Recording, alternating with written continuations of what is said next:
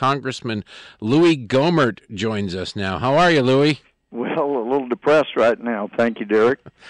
I want to talk to you about a lot of things, but first of all, tell us why you're depressed right now. well, it's a great convergence of a lot of problems. Uh, for one, um, and it's not like it wasn't expected. I mean, back in September, I was begging uh, our rep- our Republican representatives not to put off a fight over the wall. That, and as I told our, our all the Republicans in our conference, uh, look, this will be my 14th December here, and so far I believe we've had 13 where people said, let's put that off and fight over that in December, and certainly each of the elections. Yeah, let's wait and fight over that after the election. Why are Republicans so never reluctant? Fight over it after the election. It has never happened since I've been here. Why are Republicans so reluctant to fight before an election for things that they at least campaign saying they believe in, like the wall? Well, two two big reasons, Derek. One is that uh, it's always easier to put off fighting till tomorrow what you don't want to fight about today. And the other is the constant uh, badgering over being a team player, not rocking the boat. Uh, nobody, I mean, come on, nobody wants to be a renegade, really. You know, I guess there are a few, but m- most Republicans, we don't want to be, you know, the the outcast. We don't want to be the one stinking up the place. Well, plus, leadership will punish you. Yeah, and well, of course there is that, and that's why um, I'm not a committee chairman. But uh, you know, th- that's the thing. We we've heard over and over. In my my first week in orientation, the most commonly used phrase was, "The best thing you can do for your country is get reelected.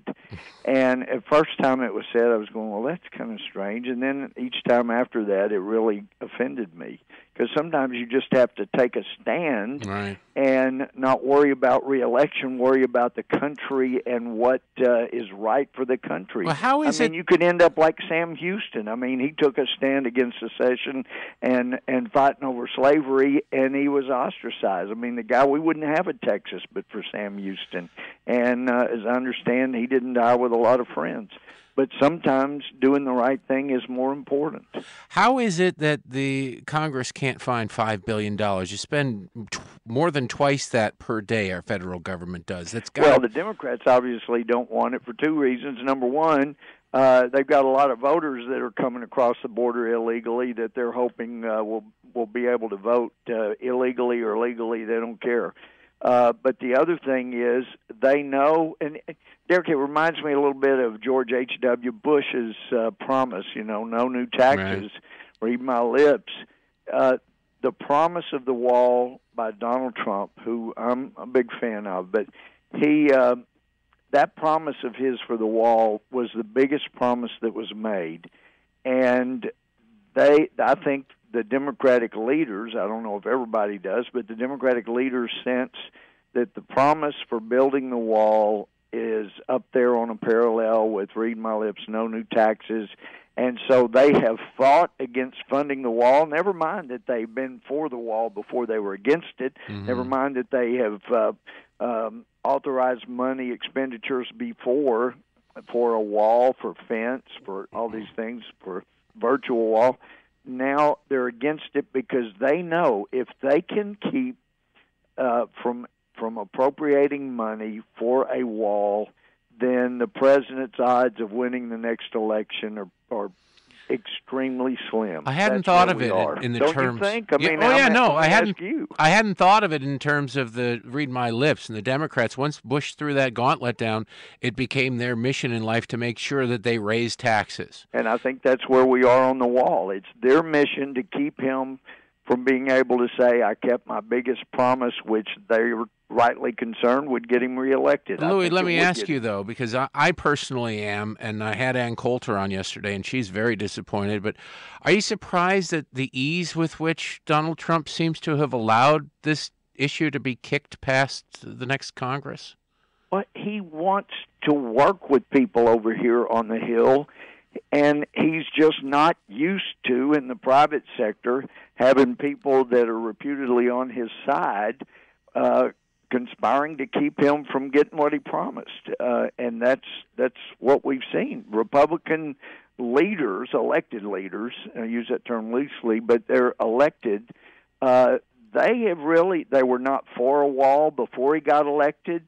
As uh, Paul Ryan, very decent, honorable person, he was saying before the uh, the election, we didn't really need a wall. And if you recall, just a few weeks before the election, uh, we were told by Paul, by our elected leaders, that uh, gee, the only way that we can keep the House uh, majority is just all of us start running against the president. Fortunately, we had enough people, one after another, on the call that pushed back so hard they backed off of that. But uh, they've never really been in favor of the wall. And you know, in private, in the private sector, Trump knew if somebody that was on his side undermined him, uh, there'd be hell to pay. They, right. He was apparently not uh, shy of suing people that didn't keep their promises. And so he's not used to being in a government setting, even two years later, where people that are uh, supposedly on his side are not trying to help him as they say they are. When that first business... medical bill, the health care bill, I mean, that was going to. Re- they told him it was going to repeal Obamacare, and all. The biggest thing it did was give more power to Health and Human Services. Now, eventually, once we stopped that one, the Freedom Caucus did. Then we got a bill that was better but that first one, I mean, he he was convinced. He was believing McConnell and Ryan and all these folks. Say, oh yeah, this is going to repeal it. No, it didn't repeal anything. Well, that's the difference between the private sector and the public sector. In the private sector, if you're trying to work with somebody and it doesn't, nothing happens. Neither one of you make any money. That's right. But in when it's power, it's kind of a zero sum game. And I, and I, there I are still people in power in the Republican Party that do not want him to succeed and uh, heck, there are probably people at the Weekly Standard now that it's failed that would like to see the pro- president go down before they do. But but uh, I'm not seeing the president fight very hard on this. Mentioning it in tweets and and and mm-hmm. photo ops is one thing, but he's not out there going to states where vulnerable members of Congress are that you know he's going to put the pressure to them giving speeches selling the American people on it keeping it at the top issue he is there blame? Do you put blame on the president at all? Uh, well, he could take the hard stand that he said he was going to, and we're just going to have a shutdown until we finally get some money in here.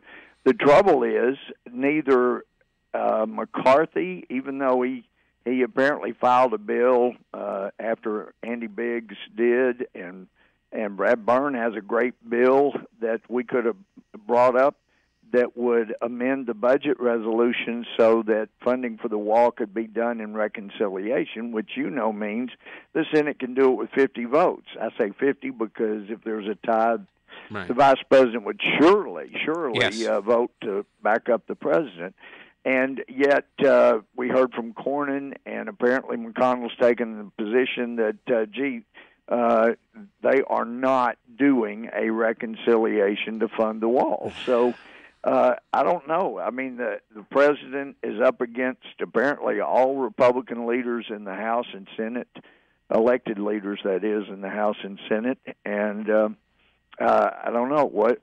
Uh, I'm a big proponent of getting your pets spayed and neutered, but I've never seen grown men in leadership positions neuter themselves like we're seeing right now. Well, see, they don't see it that way. What they see is that uh, President Trump, you know, gets most of the attention, and uh, if he's not around, then it'll be back to them being in the spotlight more than him. So I, I don't know. It's it's really they the, the people that are at the top, uh, elected positions in the House and the Senate both don't understand that by neutering this president and preventing him from getting reelected in two years they will lose the majority in the Senate. They will. They're not going to keep the majority when we when we lose the presidency. Well, it doesn't seem so like Republicans know what to do in the We're majority. You're not going to win back the majority in the House if the president goes down. They does, don't get that. It doesn't seem like Republicans know are very good at being in the majority. They're very good at being in the minority. Louie, I wanted to I had you on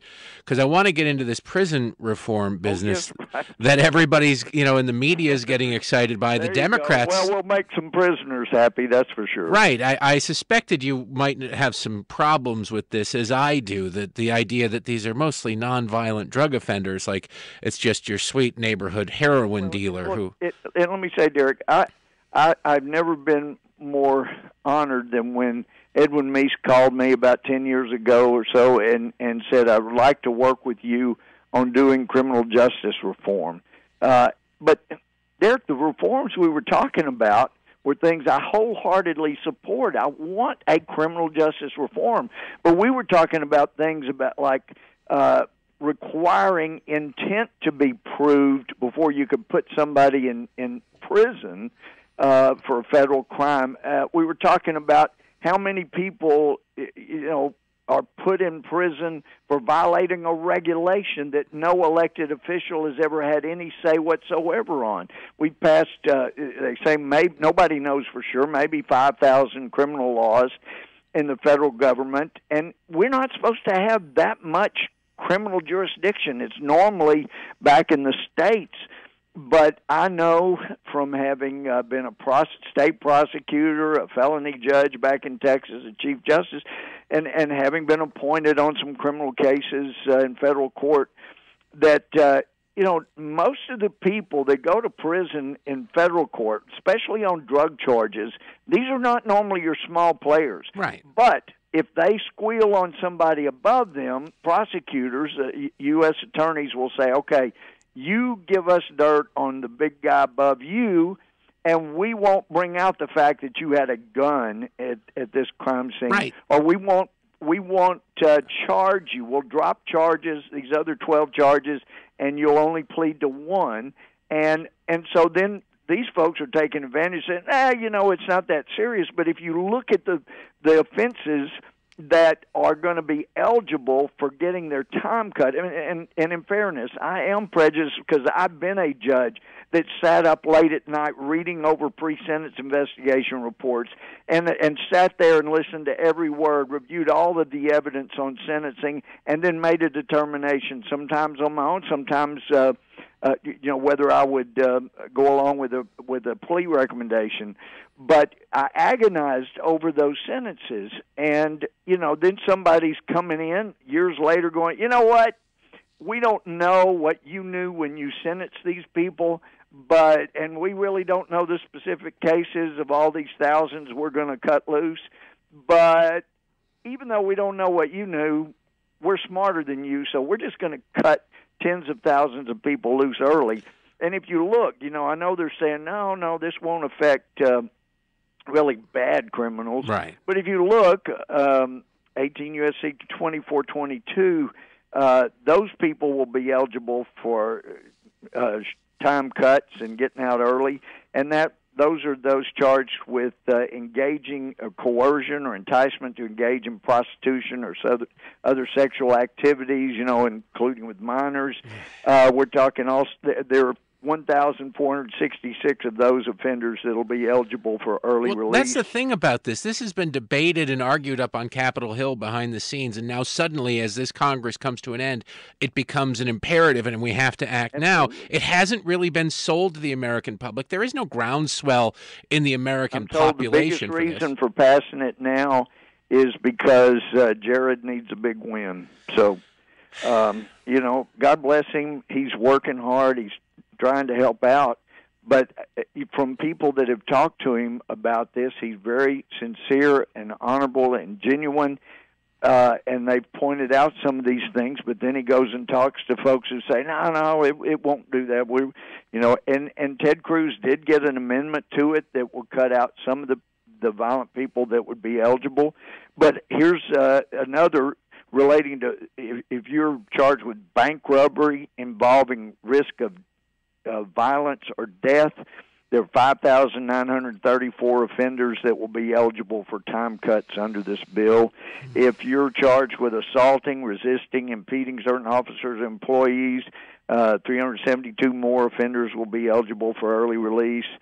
Uh, those relating to violent assault, uh, there's 657 who will be eligible under that.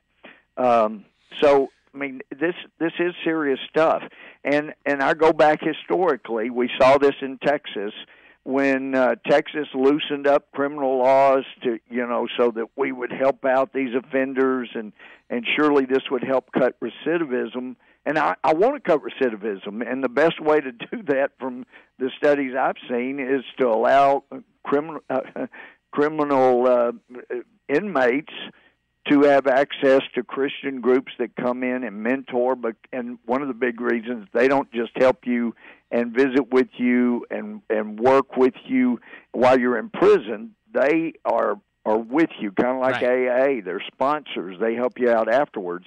Well, you But, can't uh, have that, Louie. That's, yeah, I that's know, I know, because they're Christian. That's and effect. How does that a- empower government? Which seems to be the uh, question everybody asks. Louie, I could talk to you all day, but the Yeah. clock Well, let won't. me just say that when you start doing these early releases, then you it may take two years, but you will see crime rates start to go up, and then they'll go up and up, and then people will be outraged, and then they will, will crack back down like we did, uh, you know, in prior decades, and then the crime rate goes down, and when the crime rates go down far enough, people say, you know, let's start letting these people out, and then the crime rate goes up. It's a cycle, but we're at a very, very, very precarious time in our history, and this is not the time to be cutting them loose. We need criminal justice reform, but not cutting people loose that prosecutors and judges have agonized to reach the right sentence on. No, you're right, and we could do this piecemeal. We could address cases on a much smaller scale, but That's these the big ones always have massive, as they say, unintended consequences. Although I suspect they're not all that unintended. Louie Gohmert, Congressman, Texas First District. Thank you for coming on, and Merry Derek, Christmas thank to you you. for caring. Yep, thank That's you. Merry. Merry Christmas. Merry It's- Christmas. Thank you.